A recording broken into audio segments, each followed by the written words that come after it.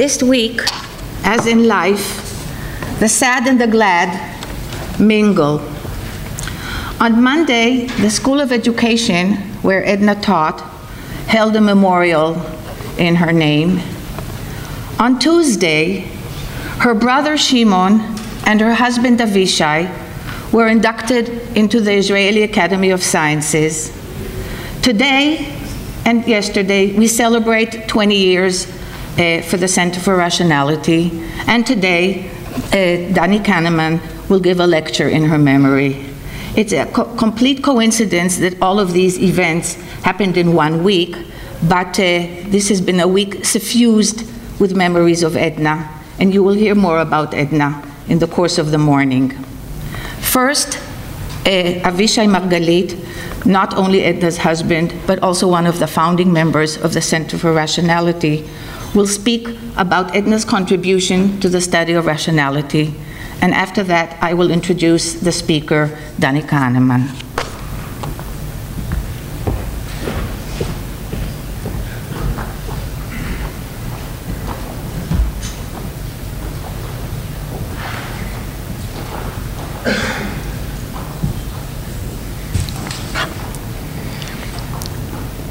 Edna was many things to many people. She was a loving mother and a passionate grandmother for us, family, she was our working week and our Sabbath rest. Edna was a prime mover in an astonishing variety of institutions, formal and informal, academic, economic, as well as many basic institutions of our civil society, human rights organizations, and other. I can go on, but I won't. I shall also shy away from elaborating the obvious that I miss her terribly. The acute sense of loss doesn't get better in time, and I don't want it to get better in time. There is a great deal, eh, there is a great deal to say about Edna's role in the Center for Rationality and her active contribution to its running in the years she was the director. Edna was an innate democratic aristocrat, not an aristocrat of status, class, or privileges, but an aristocrat of merit and strong sense of noblesse oblige, ease of manners, elegance, and supreme sense of competence and calm. Whatever she touched gained a touch of class, and so I believe it was when she touched this unique center for the study of rationality. For Edna, rationality was not merely an academic subject, it was a personal strategy. She strongly believed in society of fair-minded and reasonable people. I remember her saying to me, basically I'm like a, the proverbial American who believes that all the people in the world can understand English if you only speak to them slowly enough and loudly enough.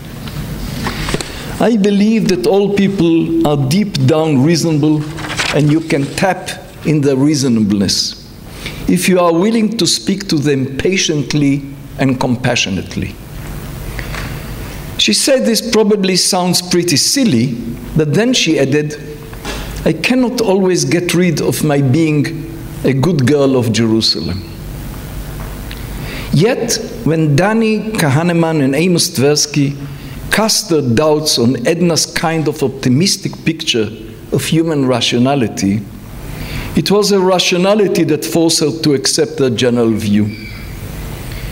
She was one of the very first to move in their direction.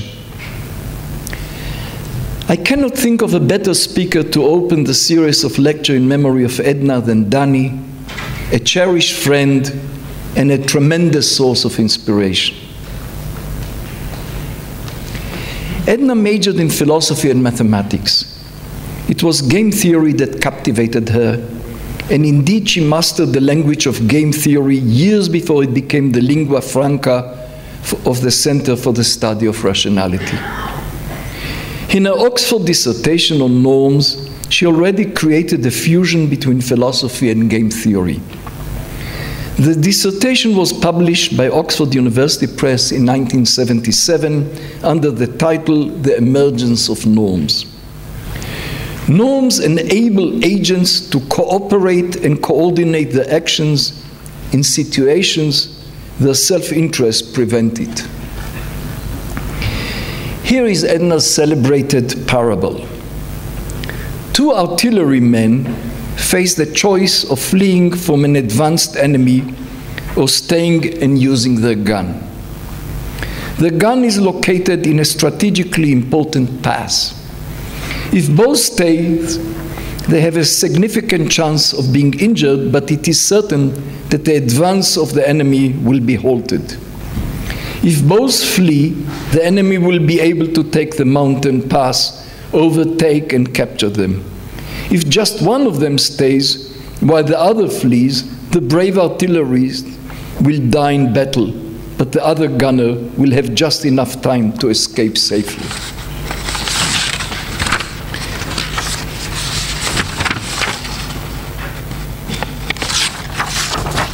Supposing that both try to survive this ordeal, preferably unhurt, each soldier has reason to flee. The reason for this is that they are engaged in a prisoner's dilemma. Both would be better off if both stood their ground. Being chained to their guns is one way of securing the better result.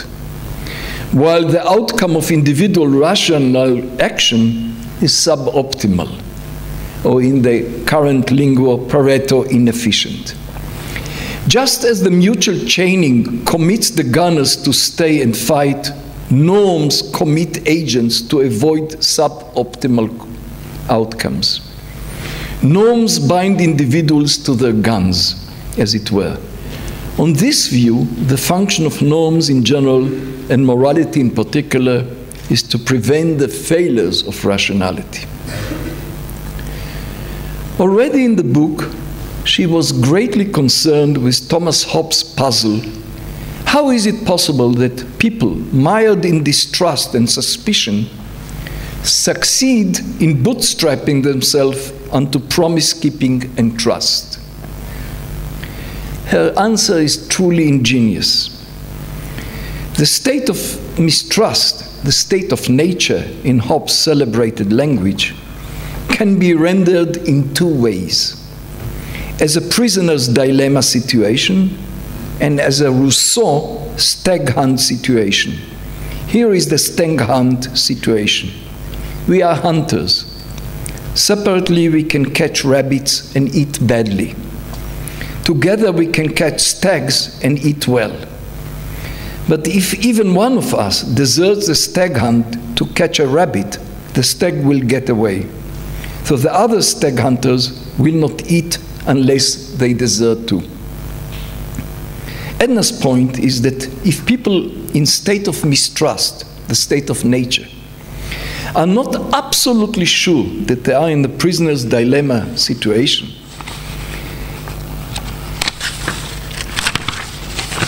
moreover, they believe that there is even a slim probability that rather than being in a prisoner's dilemma situation, there is they are in a stag hunt situation, then getting trust out of mistrust is a genuine logical possibility.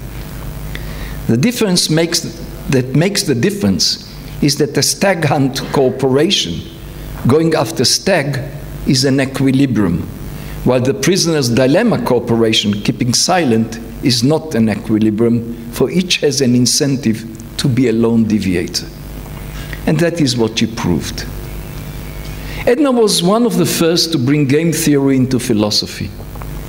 Knowing the young age of the, her death, it seems strange.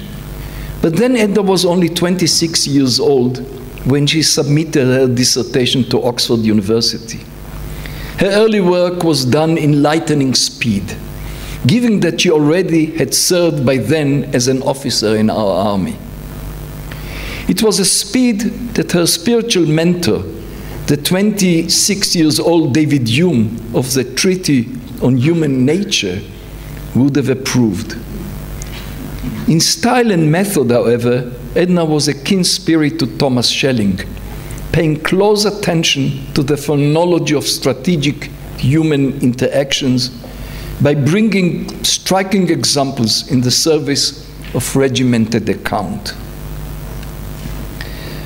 It would be preposterous for me to try to give an account of Edna's contribution to the study of rationality, as the title I gave to my remarks suggests. Her contribution, I believe, amounts to a great deal, but then a great deal more should be said about it. All I can do in my limited time is to give you a glimpse of her work by referring to two typical papers of her one on picking and one on opting, one on small decisions and one on big decisions.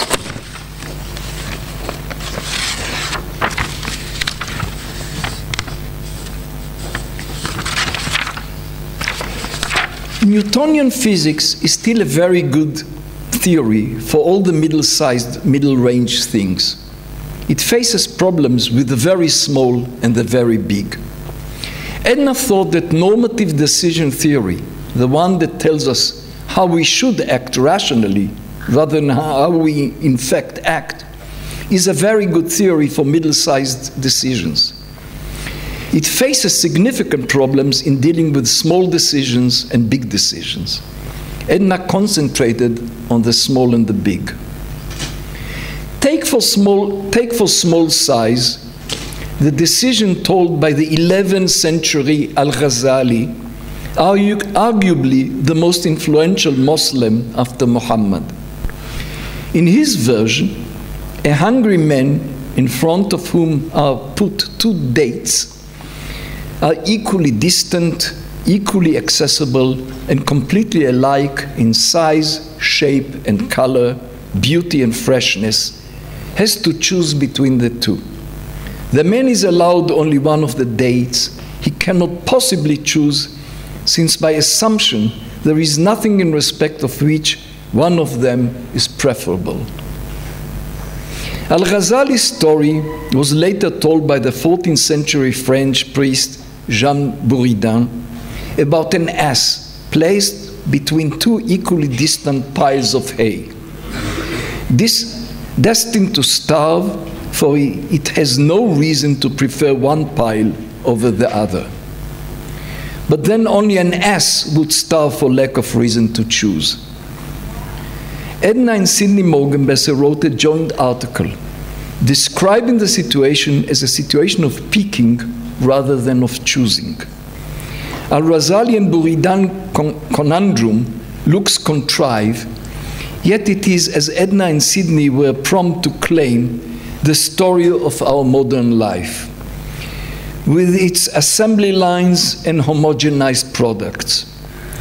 Facing row of Campbell tomato soup cans when we want one is a situation of picking rather than of choosing. We extricate ourselves in such situation not by finding fatuous reasons for preferring one over the other, or say by tossing a coin. After all, to decide which side of the coin stands for what is in itself just another situation of picking. Habit, such as reaching for the left can, may do the trick of picking. In picking a can of soup, we pick for a cause such as being left handed, not for a reason. We know the type, the obsessive compulsive, the one who cannot help but turning every picking situation into choosing situation. Choosing for reason in such cases can be a sign of madness rather than a manifestation of rationality. But it may very well be the case that our most cherished projects and frames of reference, such as being Catholic or being a communist, are matters of picking. Once we, wa- we are one or the other, we have many reasons to be one or the other. But we are usually thrown into our basic commitments rather than choosing them. Being thrown amounts to picking, not to choosing. Indeed, Edna's way of elucidating the existentialist idea of the absurd is by claiming that our most basic life's projects are at the bottom matters of picking rather than of choosing. If picking is Edna's way in dealing with small decisions, opting is her way in dealing with big decisions. Take the following for size King Edward VIII making the agonizing decision, leaving the throne for the sake of the woman he loved. Ruth's choice for tying her fate with that of her mother in law, Naomi, who was returning from Moab to her native land and people in Bethlehem. Migration and marriage are typically clear examples of big decisions. What marks big decisions is that they are transformative to the person's life. The choice made in such in such crossroads is likely to change one's beliefs, desires, and even core values. You may be so utterly transformed by your decision that what counts for you as good reason to take the big decision might in, be in your new life a non reason or even a bad reason. If a corporate executive turns into a Buddhist monk, his preferences are expected to go under radical change.